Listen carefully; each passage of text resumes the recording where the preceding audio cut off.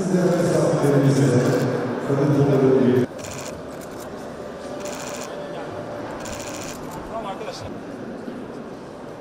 Türkiye'nin dört bir yanından buraya gelen kadın kolları Bismillahirrahmanirrahim. Elhamdülillahi Rabbil alemin. Ve salatu ve selamu ala Resulina Muhammedin ve ala alihi ve sahbihi ecma'in. Kardeşlerimizin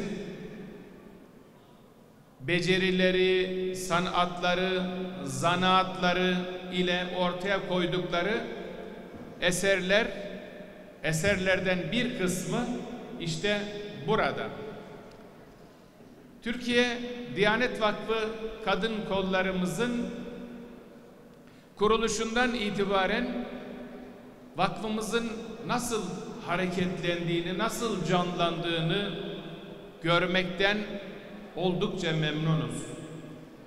Sadece büyük şehirlerde değil, ülkemizin her şehrinde kadın kollarımız büyük bir çalışmanın büyük bir faaliyetin içerisinde. İşte Türkiye Diyanet Vakfı gönüllüleri ve çalışanları hayırda yarışma aşamasında şu anda. Bizim derdimiz Allah rızası. İnsanlara yardım etmek, yardımcı olmak. Medeniyetimizin en önemli unsurlarından birisidir. Yardımlaşmak, dayanışma, infak, iyilik, yeryüzünde iyilik egemen oluncaya kadar diyoruz ya, Diyanet Vakfımızın logosunun altındaki yazıda, işte şu an yapmış olduğumuz iyilik çarşısı bu hedefimize ulaşmak için yapmış olduğumuz faaliyetlerden birisi. Dünyayı iyilik değiştirecek diyoruz. Hem ülkemizin pek çok yerinde ulaşmadığımız yer kalmasın istiyoruz. İyiliğin ulaşmadığı hiçbir yer kalmasın. Yurt içinde, yurt dışında. Ne büyük bir iyilik hareketidir. Ne büyük bir hayır hareketidir. İnşallah önümüzdeki yıldan itibaren 13 Mart 20 Mart arası ülkemizde iyilik haftasını idrak edeceğiz. Diyanet Başkanlığı olarak ve bazı kurumlarımız olarak 13 Mart 20 Mart arasını iyilik haftası faaliyetlerini gerçekleştireceğimiz bir hafta olarak belirledik.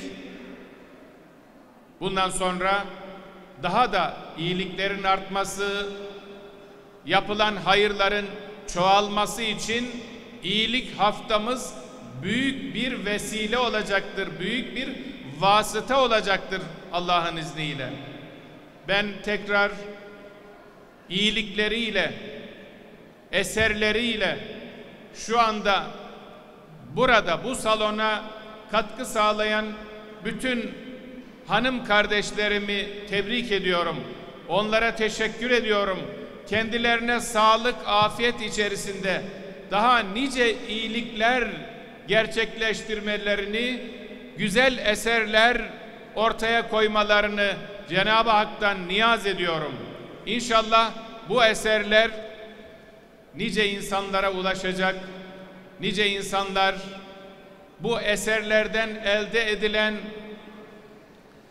e, miktarlarla nice ihtiyaç sahibi insanların insanlara destek olunacak Türkiye Diyanet Vakfımız ve kadın gönüllülerimiz, kadın kolları çalışmalarına katılan kardeşlerimiz buna vasıta oluyorlar, vesile oluyorlar. Vesiletün necatımız olsun inşallah. Sizlerin kurtuluşunuzun vesilesi olsun. Hepimizin kurtuluşumuzun vesile ol, vesilesi olsun. Bu iyilikler diyorum ve tekrar katılımınızdan dolayı hepinize en kalbi hürmet ve muhabbetlerimi sunuyorum. Allah hepinizden razı olsun. Değerli milletvekilim, kıymetli kardeşlerim, ülkem yönetiyor konularımızın kadın, gençlik e, ve aile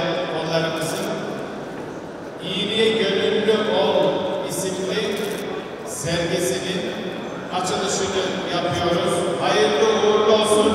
Bismillahirrahmanirrahim.